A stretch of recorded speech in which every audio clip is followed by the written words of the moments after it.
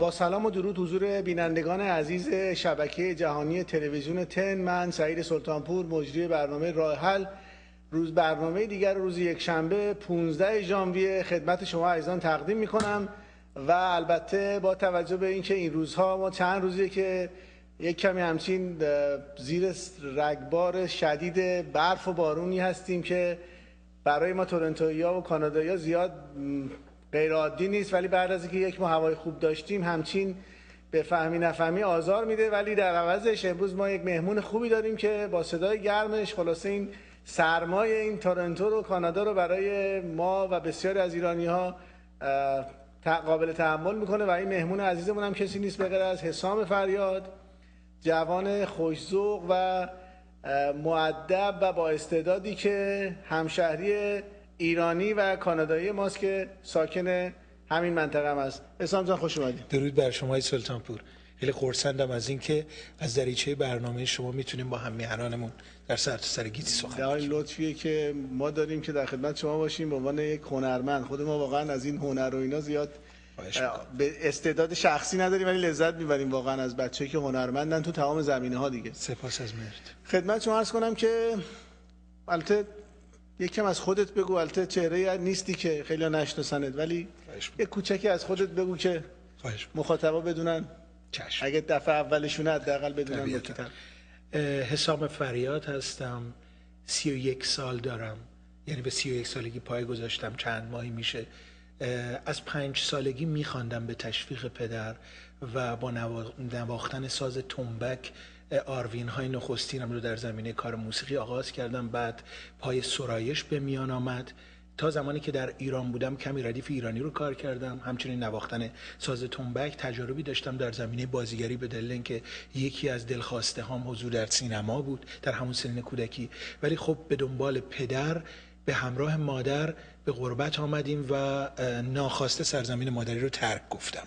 در یک مهاجرت غیر سیاسی طبیعتا. من پانزده سالم نبود. که کوچکتر از 15 سال بودم. چون می‌دونید که چون می‌دونید که آره سال 1995 سال 1995 به همین دلیل که 15 ساله ها پسرها ممنوع خروج می‌شدن آن زمان من پیش از این به همراه مادر خارج شدیم که به پدر بپیوندیم چون بیشتر اقوام من در بلژیک زندگی می‌کنن و در یک ترانزیت ترکیه بودیم. مادر نتونست همراه من بیاد. من به پدر پیوستم. مادر پس از سه سال به ما پیوست و من یک دهه در اروپا زندگی کردم و فعالیت ها و کنش های فرهنگی ما از بلژیک به آلمان، فرانسه، هلند، سوئد، لوکسامبورگ و کلا دور اروپا گشتیم با نخستین آموزگارم استاد ایرج هیت که پارسال در پارسال اینجا, پارسال اینجا رهبر ارکستر من بودن به دعوت خود ما آمده بودن. بعد در کمتر از 18 سالگی نخستین آلبومم رو در جرگه‌ی آوازخوانان حرفه‌ای به سال 1999 با آهنگسازی استاد محمد شمس و سروده ها و ملودی های از خودم آغاز کردیم. ایشون دومین آموزگار من بودن در این وادی و همین گونه ادامه دادم و آلبوم Space پیش آمد در سال 2002 تا 2003 و آشناییم با سومین آموزگارم آیین نیماد. و این سیب چرخید و در سفرهای متفاوت و کلاه ما رو باد آورد به تورنتو. برای یک کنسرت بعد جای آورد جای آورد میگم باد آورد سرد. آورد اینجا و نه خب خیلی خورسندم از اینکه پای داد که پیوند زناشویی من پای گرفت اینجا و ماندگار شدم. و از اون به بعد هم دو سه آلبوم در تورنتو کار کردم و اینجا با نوازندگان کانادایی و یا تک و توک نوازندگان ایرانی و دیگه خودتونم می‌دونین کمپانی HF Music Production کنسرت اول رسمی خودم در تورنتو روز یک سال و نیم پیش و آلبوم تک درخت پرده برداری از نخستین آفریده کمپانی خودم که امتیازش دست خودمه با لیبلای دیگه نیست و کنسرتی که در پیش داریم. برای چند روز آقای خدمت هست کنم که سبک گویشی که داری سبک به خصوصیه. این سبک چی شد که انتخاب کردی؟ خودت انتخاب کردی یا اینکه خواهش می‌کنم. نه اینکه بخوام دیگر پردازی بکنم ولی وقتی که از میهن بیرون آمدم دیدم زبانی که دیالوگ می‌کنم در روزمره زبان یک کارورز سرایش و شعر و ترانه نیست و یک زبان ساده و خیابانی است. نه اینکه بخوام بگم زبان ساده و خیابانی زبان بدی است یا بگم عام درد مردم به درد. کار من نمی‌خوره. و چون یه سری واجه هایی در زبان پارسی بود که رنگاهنگ و رنگاهنگ زیبایی داشت و محجور مانده بود پس لاجرم تلاش ورزیدم و با راهنمایی اساتیدم زبان ویژه‌ای رو یافتم که زبانی بود معاصر با برگرفته هایی از تاریخچه زبان پارسی و واژگان پیوندی پارسی. من دو تا سوال پیش میاد. یکی که آیا برای مخاطبات مخصوصا اگه داخل کشور باشن هیچ گونه مانع ایجاد نمیشه اینا چرا خب گهگاه دشوار دیالوگ کردن به اون زبان؟ آخه من یک بنمایه رفتاری دارم. من تا یخ رفتارم با کسی آب نشه بهش باهاش نمی‌تونم آمیانه سخن بگم. و این زبانه انگاری به عنوان یک. به عنوان به عنوان یک کتابت در ذهن من یک لوجیستیل فرانسوی رو میگم و یک سافتور یک نرم افزار انگاری نهادینه شده در من. اونم از سن 15 16 سالگی به بعد و این عادت شده. امسال بعد از 15 16 سال هی هی هم سن میره بالا. شما پیچیده تر میشی چون سنت میره بالاتر. به خاطر همین اینم شده. خب در وادی گویش من البته در وادی سرایش من سروده های آمیانه ای رو چه از سرایندگان دیگه برگزیدم که روش ملودی بسازم یا برام ملودی بسازم بخونم و یا خودم سرودم. ولی کلا به این گرایش و این گویش و این نوع واژه پردازی علاقه دارم.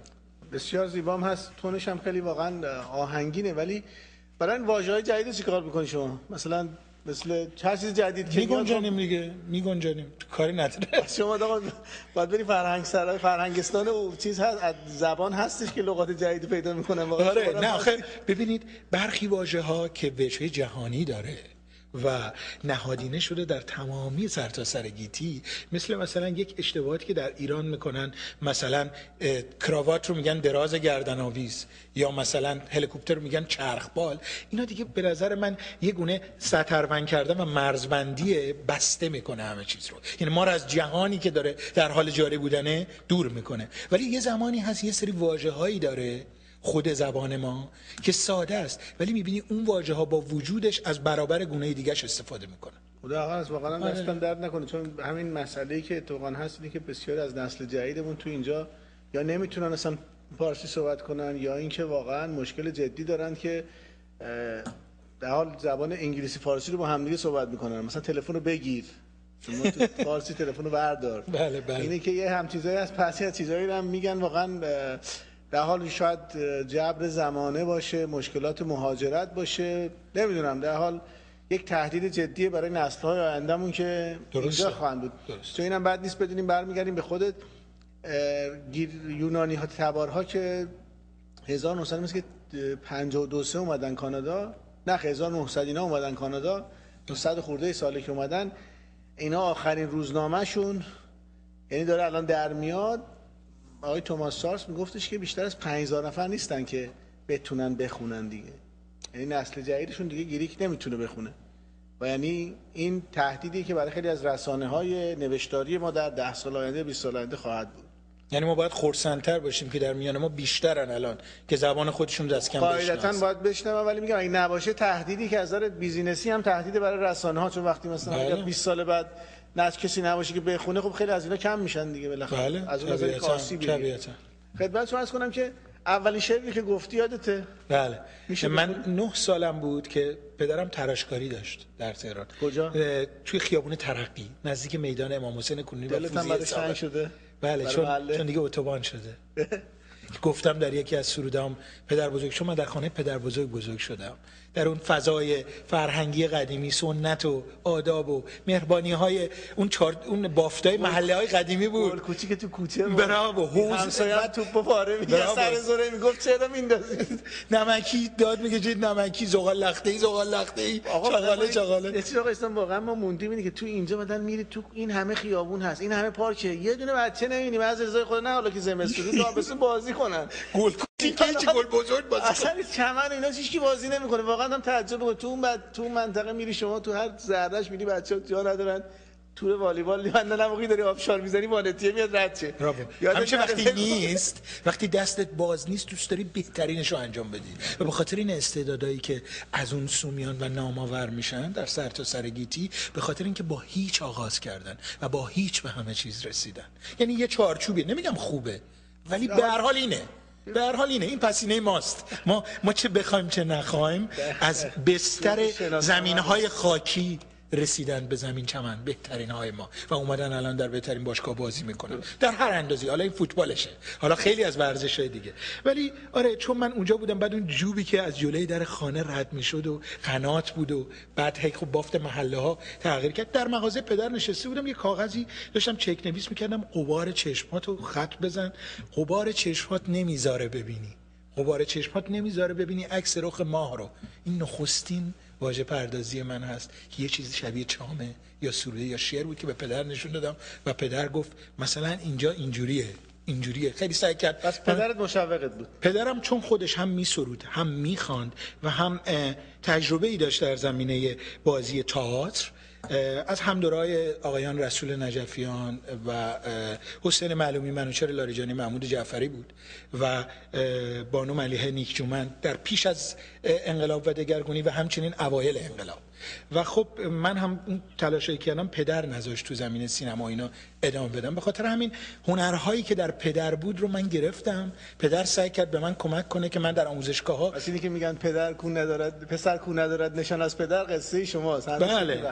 به راستی من تلاش ورزیدم تا آنچه که میشه راه رو ادامه بدم و من با این باورمندی هم آمدم پای به بیرون نهادم که روزی پیشه حرفه‌ای بشه که الان فراتر از 13 سال حرفه‌ای و قبل اونم پیش حرفه‌ای. من دو سه سال از این کار والا اگه الان زنگ بزنیم به پدر جان بعد چی میگونم؟ همین حرفا رو می‌زنه. یعنی میگه بچه خوبیه. امیدوارم من تک فرزندم سعید جان سلطانپور. بد و خوبش به هر حال دومل تاریخی بودم که برای این خانواده نهاده شد نه نه تو کلا اونم با شما اینجا زندگی می‌کنن؟ نه در بلژیک خب در حال در حال می‌دونی که چشم انتظار دوست دارن. همیشه مثلا شرقی ها ایرانی ها دوست دارن همیشه بچه‌هاشون در کنارشون باشن بله منم دوست دارم اونا در کنار من باشن. خب همه خب... همینه به خاطر همین آره. ترجیح میدن که آقا میگه قاسی شاعر نمیشه اقلا اونجا میمونه نه خب خیلی میرم و میام چون من خب بستر فعالیت های هنریم رو. البته خب من میگم ما در بلژیک خانواده بزرگی هستیم ولی خب اینجا خانواده کوچیکی هستیم ولی خب وقتی هموطنان رو دارم کمتر احساس برای خانواده بزرگ. خدمت عرض کنم که خب این اولین شعر اولین که بعد کتاب شعرم چاپ کردی؟ نه هنوز. من همیشه من 16 هزار بیت سروده دارم در طی این سالهای غربت. و به قول یک دوست دکوراتور سینمایی میگه انگار شما هیچ کاری نگری جو سرودن. گفتن نه کارهای دیگه هم کرد حتی با احترام بکرد دوست من نمی‌خوام بگم. یه دفعه یه دوستی بود چند کتابی رو چیز کرد. آقا ما رفتیم البته باش مصاحبه کردیم. بچه انسان بسیار شریفیه. بهش گفتیم واسه شما الان مثلا شدی شما سبک مکتب تورنتو دارید و اینا. گفت آقا مکتب تورنتو کدوم؟ من سه سال مثلا 80 سفر به زور پر کردم. خب بعضی موقع به خاطر این چیزا میسرایم و اینا. در حال ولی واقعا نشون میده که حس همیشه ادبی و همیشه اساتید پیشکسوتم. ارسی هم باید باشه. یعنی بله. اکتسابی نیست. نه نه نه, نه. همیشه اساتیدم پیشنهاد کردن که نخستین مجموعه بدم. ولی من میگم من هنوز یه قطرم در این وادی. و. نه صحبت توازن نیست. من احساس می‌کنم که چون من چند کار انجام میدم من می‌خوانم ملودی می‌سازم بر بستر سروده ها و همچنین سروده هایی که برام میاد رو به ملودی می‌سازم روش و در آلبوم می‌گذارم. من نمی‌خوام آن یکی تحت شوهای این یکی قرار بگیره. من نخست یک خواننده هستم که سرایش رو انجام میده و همچنین ملودی هم میساز می‌دونم خانم تامیته. بله، اونجوری که خودت میگی پشتیبان بعدا کجا با هم آشنا شدیم؟ همینجا در یه برنامه در یه برنامه فرهنگی آمدم به اینجا برنامه اجرا کنم. بانوی ما از دست اتفاق مجری برنامه بود. ما هم یک فالین لاو و لاو استوری و و دیگه ماندگار شدن. با این که تک فرزنده اون حس نوستالژیکه داره دوست داره همیشه تو خونه مامان و بابا باشه. اگرچه که من تو اروپا بودم همیشه سفر بودم. یا کنسرت یا ضبط. و من نمی‌دیدم. ولی الان یه داستان دیگه است. می‌دونی چی میگم؟ که میگی سفرهای دیگه هم داشتی دیگه بیرون. طبیعتا طبیعتا نورت آمریکا. آره طبیعتا خب به هر حال من کجا رو نرفتی الان جان؟ کجا رو نرفتی؟ مثلا برزیل که شما پیشترک می‌گفتی. یعنی خب گفتیم به جد یعنی بزرگوارمون مارکوپولو یک tour تاریخی بزنیم.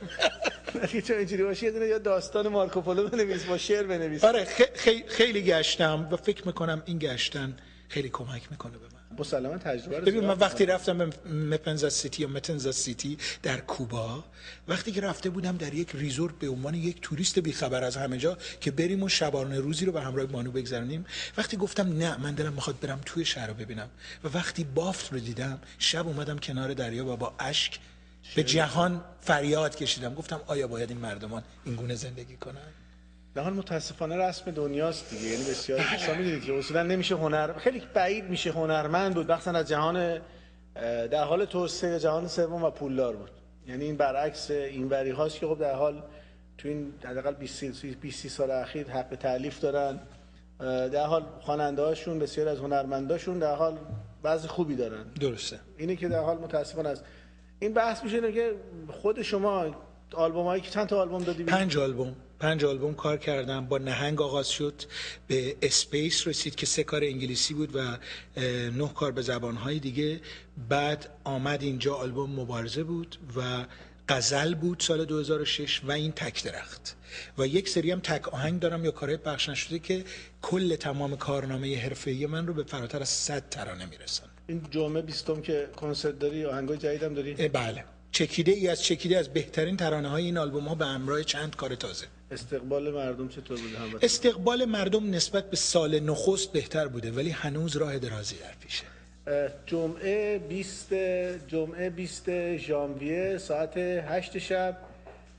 حسام فریاد هنرمند همشهریمون در تورنتو در تورنهیل البته میرم یکی از مشکلات شده آقا این تورنتو. همه میگن تورنتو دیگه در حال تورنتوی بزرگ. کنسرت داره در حال خوبه. دوستانی که مایل هستن اهل تشویق کردن هستن صدای متفاوتی رو می‌خوان بشنون حتما برن قبل فرصتی هم نمونده. البته من می‌دونم که در عادت داریم سنتا دقیقه 90 میریم خیلی همون بیرون ولی در حال اینه که برن و حمایت بکنن از هنرمندامون چون هنرمندهای بخشی از اون فرهنگ یک کشور هستن. هنرمندای هر کامیونیتی هر جامعه یک شناسنامه و یک آینه واقعی هر جامعه هستن. اگر جامعه هنرمندی نداشته باشه اون جامعه دچار مشکلات جدیه. خدمت عرض کنم که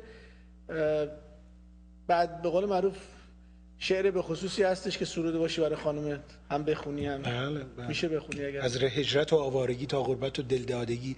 عشق تو شد همراه دل در وادی دلدادگی. بانی قصه ساز من هم خانه و هم راز من. من را پر پرواز باش ای نقطه آغاز من. بسیار زیبا در حال. یکی از کارهایی در حال واقعا- حالا این گفتی تو تورهیل زندگی می‌کنی. صحبت تو, شد. تو تورنیل آخه کنسرت تو وانه. اینجا هم تیکه به تیکه همه جا انگاری مثل ابرا دیدین چجوری به هم میپیوندن؟ واقعا خیلی- هم همینه. دقیقاً. یهویی میشه یه ابر بزرگ. دقیقا. خدمت شما ارز کنم که خب این مشکل 85 روزه که اعتصاب هم هست تاثیر داشته برات. طبیعتا خب. من خب ب- چون خودم فوبیا دارم از رانندگی نمیرانم گاه باید بانو منو برانه. وقتی که بانو نیست خب خودم باید رفت آمد کنم. و کم کم به حال کمی دندان قرچه و سرما و با این شعرم گفتی تو این ایستگاه یا نه؟ سال این چندین سال اینجا. نه نه شعر تو سرما. بله تو این چندین سال اینجا. چون من تو سرماهای اینجا بسیار گیر کردم. یه بار داشتم از کالج می اومدم از دانتان تورنتو.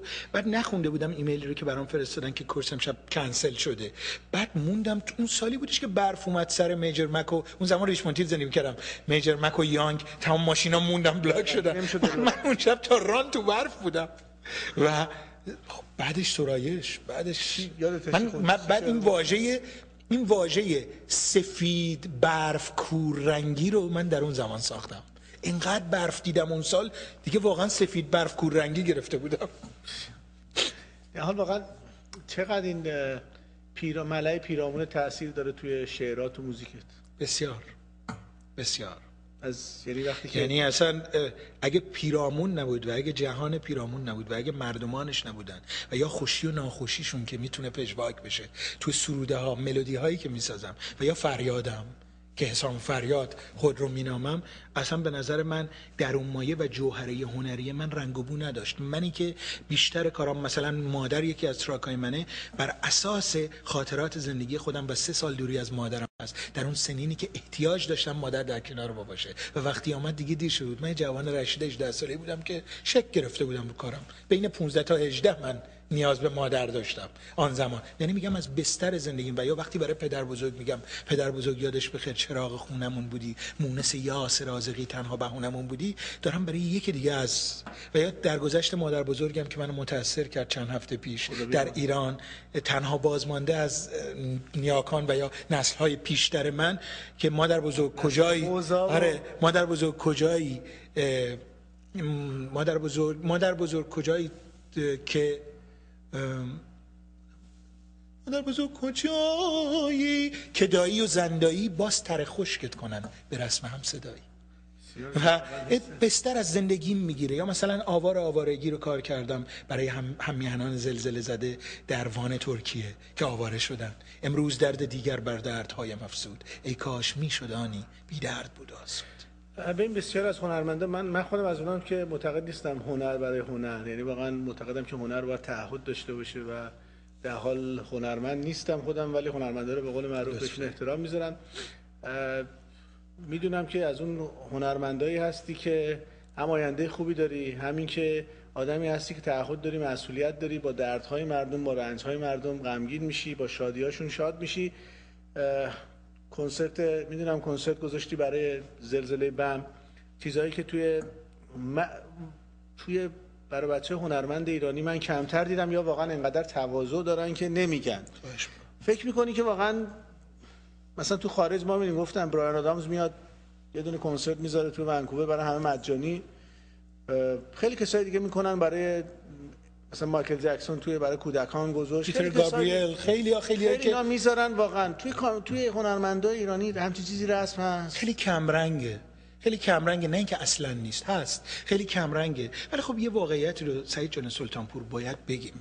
ببین یک داد و ستد روحی روانیه. فقط داد و ستد مالی نیست کار هنری. شما از بستر جامعت رنگ می‌گیری و در آنات شرنگ و درد و شادی با جامعت هستی و پژواک میدی. چجوری مثلا تیم ایران میره جام جهانی یه گل می‌زنه به یه تیم دیگه؟ ما شاد میشیم. همه جا می‌خوام بگیم تیم سرزمین من. همینجور کانادا همینجور بلژیک همینجور آلمان. فرقی نمی‌کنه کجا مهم اینه شما همرنگ این رود که داره میره رو سوی دریا شما باش بری و همیشه نایستی که ببرتت خدمت شما از کنم که در حال این مسئله که دارید میگید واقعا فکر کنید چه شکلی میشه که این یگانگی رو بیشتر کرد بین هنرمندا و مردم مثلا من شنیدم که خب زمانی که خدا بیامرز محوش فوت می‌کنه تهران. بسته میشه. چون واقعا میگن تو خب تو اون زمان که تو کلی تابو بوده تو ایران. بله بله. زن بله. به قول معروف خیلی به خیلی کمک کرد. و یا یکی از زکی مورن بود ترکیه یکی از بله. کسایی بود انسانایی بودش که خب خیلی خیر بود. بسیاری کسا رو میفرستاد درس میخوندن. وقتی مرد همچین چیزی شد. از این انسان ها کم نداریم. از این هنرمندایی که هستن و خیلی از هنرمندا اصلا دستشون به زور زندگی رو میگذرونن. این این متاسفانه مثل که جبر روزگاره در بله، حال. بله ولی خیلی مهمه که در حال یک نوعی یگانگی ایجاد بشه. در حال امیدوارم که واقعا در آینده البته خب رسانه ها وظیفه دارن مردم وظیفه دارن همه هنرمندا هم دارن. این یک طرف نباید توقع داشت فقط درسته بیاد. درسته درست خدمت شما کنم حالا با چیکار با کپی چیکار می‌کنی؟ با کپی چی دیگه می‌سازیم؟ آخه می‌دونین مارکت ما دستخوش خیلی دگرگونیایی قرار گرفته یک دهه واپسی من تازه دو سه سال بود به گونه خواننده حرفه‌ای آغاز به کار کرده بودم که مارکت ما کپی تو شیوعی به اندازه بیداد رسید. و دیگه حتی بهترین خواننده های ما هم که چند صد هزار نسخه آلبوم فروشون به چندین هزار رسید. و تا این سالهای واپسین از یکی از چهار خوانندگان بهترین ما در از نظر شناسا بودن و اینکه توی تاریخ مردم باشون خاطره داشته باشن رسید به چند هزار کپی فروش. و وقتی اینجوری میشه خب هنرمندای ایندی مثل ما یه تعداد محدودی تولید می‌کنن تو کنسرتاشون شب شعراشون سفرهاشون میفروشن یا روی نت رو آیتونز میفروشن. ولی کلا صنعت اینداستری کار موسیقی تغییر کرد در جهان. و ما چون یک تیلیم بر این صفحه بزرگ که جهانه ما مجبور بودیم تغییر کنیم. منتها اونا بسترسازی فرهنگیشون به گونه دیگریه. اونا بسترسازی فرهنگیشون اینجوریه که بلا فاصله پشتیبانی می‌کنن ولی ما اون نادرستی فرهنگی رو داریم که یکی می‌گیره صد نفر کپی می‌کنن. وقتی بعضی موقع فکر می‌کنیم که داریم کار خوبی می‌کنیم ها. آره آره ولی این پشتیبانی هم فکر می‌کنیم اگه این نامآورتر بشه همه شناساتر آره، بشه برای خودش بهتره. ولی در صورتی که دیگه. طرف زنده بمونه. ما داریم یه تبری رو با تیغه پنبه‌ای می‌زنیم بر ریشه هنرمند. یعنی از رو مهره ولی تبره. خب چرا من چرا واقعا یک اتحادیه تشکیل نمیدن هنرمندا؟ دیگه حداقلش اینه که حق خودشون حفظ میشه و اصلا مهمتر اینه که اطلاع رسانی به بقیه میشه. یعنی واقعا همونی که میگی خیلی کسا نمی‌دونن واقعا چه خبره. فکر کنن آقا همه فکر کنن طرف اینجوری حساب می‌کنیم همون دیگه کنسرت که میشه حساب می‌کنیم ضرب در اینقدر شده اینقدر شده. خب بعدا نمیگن که بابا خب مثلا تبلیغات هست طرف هزار و یک expense. دقیقا آقا سالن داره سالن security داره سالن union داره بنابراین پیچشو نمی‌ذارن شما عوض کنی. هزار یک خرج داره بنابراین آخرش می‌بینی که طرف همینقدری که بتونه چیزی از جیبش نذاشته باشه و یه بکن. بله. آره همینقدری که هوادارش خوشحالن خیلی را خوشحال و راضیه که آقا بالاخره هوادارام اومدن فنام اومدن و من راضی دارم من اینجا میرم بیرون خیلی در. برابر دوربین خود شما که انقدر مسئولید دیدم در community ایرانی چقدر دلشوره دارید من میگم کاری بکن ای دوست کاری که کارستان و یک کار درست باید انجام داد و نهادینه. همه چند نفر به من گفتن از کارورزای خود این رشته نقاش مجسم ساز بازیگر که یک سوسیته یک جایی یک اسوسیاسیونی باید تش- تشکیل بیابه. یک همایش و یا یک گروه و یا یک کانونی که خودمون یک اساسنامه‌ای براش بنویسیم و فراخور اون خودمون این رو در جامعه خودمون به کارایی برسونیم. حالا این همیشه کمبودش بوده نه فقط اینجا. اینجا ایران- اینجا که دومین پایتخت سرزمین این دومین پایتخت غربت نشینان در برون از میهنه همین بلا سرشه لس آنجلس همین گونه است اروپا هم در همه جا همینه. اگه بشه توی تورنتو مثلا 250 چهره شاخص هنرمند در کارورز هنرهای گونگون داریم چه از اساتید چه کسانی که جوانترن فرقی نمی‌کنه. اگه همه اینها بنشینن پای یک میز و دوستانه سخن بگن و بخوان کاری بکنن حتما امکان پذیر هست. چون امروزه ما تعدادمون بسیار زیاده. فقط این کاری که کارستان می‌خواد و این دست بران دستان می‌خواد. یعنی واقعا ببینید حتی خودتون هم که وقتی با هم دیگه باشید همین که میگید 250 نفرید بابا وقتی می‌خواید برید یه جایی رو ضبط بکنید یه استودیو رو که ضبط بکنید وقتی ببینن اتحادیه مثلا هنرمندان ایرانی مقیم تورنتو دیگه تخفیف که بهتون ندن ولی مجبورن میگن آقا اینا با 250 نفر طرفیم. چون اینا هر کدومتون باید بریم بالاخره برنامه اجرا کنید دیگه. شما آروین میگه- دارید و تجربه تو این زمینه می‌دونید. استودیو میگه که آقا مثلا استودیو خارجی چون می‌خواد بذاره میگه آقا اگه من به اینو بگم نه 250 نفرشون میرن. به اضافه که وقتی ببینن 250 نفرین 250 تا بیمه میاد براتون 250 نفر بهتون بیمه ارزونتر میده. مثلا سلفون مجبورن. همه همینجوری یه پکیجی میان سراغتون میگن یک جمعیتی رو داریم می‌رسیم بهشون و خیلی راحتتر. منافع مالی قبل از هر چیز منافع صنفی برای خودتون داره یعنی هم می‌تونه درآمدزایی بکنه که یک روزی هم میهنان زلزله زده من وقتی آن سوی جهان نیاز به کمک دارن و اینجا باید یک کنسرت گسترده گذاشته بشه. ده آوازخان این شهر به روی صحنه برن و هم فریاد بخوانن و بتونن پولها رو بگیرن و کمک کنن به اونا. نباشه که امروز حساب کنیم ببینیم چند نفر میان. پنج نفر رو یک چهارم شرکت می‌کنن. پنج تا آدم حقوق بشری پنج تا آدم انسان دوست که می‌خوان مثلا دلشوره اینو دارن. به نظر من وقتی نهادینه بشه بهتر میشه تو آبشخور بجاشه. و من که جوانترین و کوچکترین این خانوادم این رو از دریچه دوربین بجای شما برنامه راه حل ایجاد و ابراز می‌کنم که باید کاری کرد یک کاری که بمانه و پس از ما هم این رو باز انجام بدن. هی تکرار بشه تا اینکه جا بیفته تو بستر جامعه ما. دقیقا چون می‌بینید حتی خیلی راحتتر میشه با مثلا وزارت هریتیج بله. کانادا فرهنگ و اصلاح هنر کانادا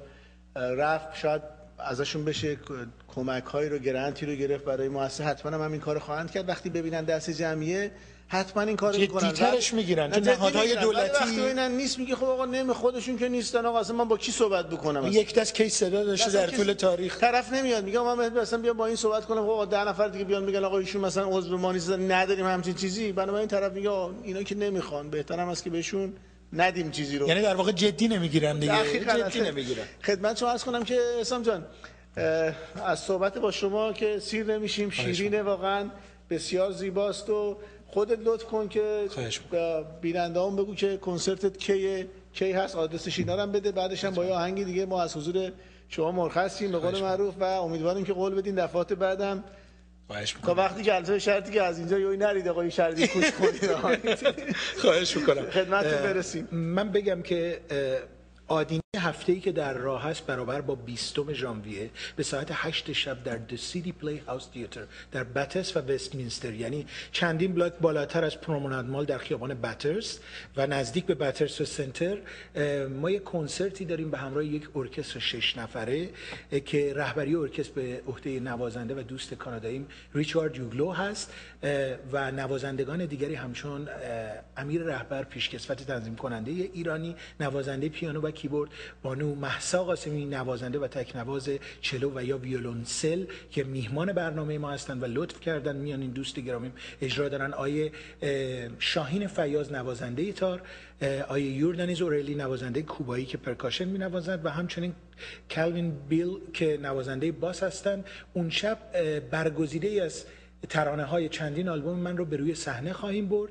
که امید داریم که این در این کنش دوم کنسرت رسمی HF Music Production که کمپانی مستقل خود من هست هم میهنان ما رو حمایت کنن. تا الان هم حمایتشون خوب بوده. هم به یک راه دراز و طولانی باورمندم و نه, یک راه یک شبه و سست. بسیار زیبا.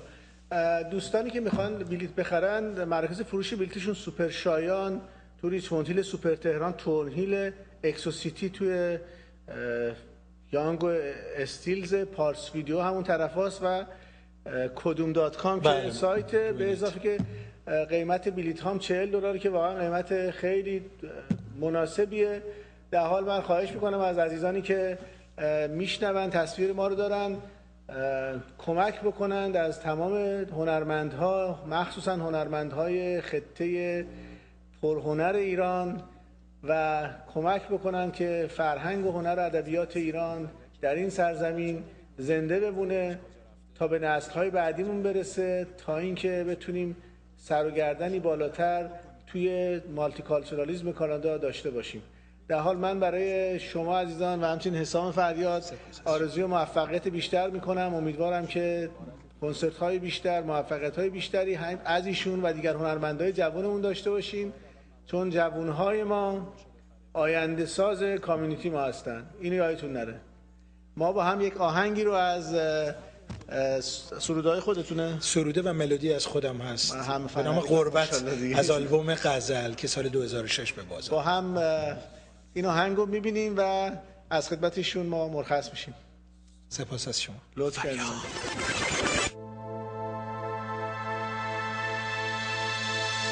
قربت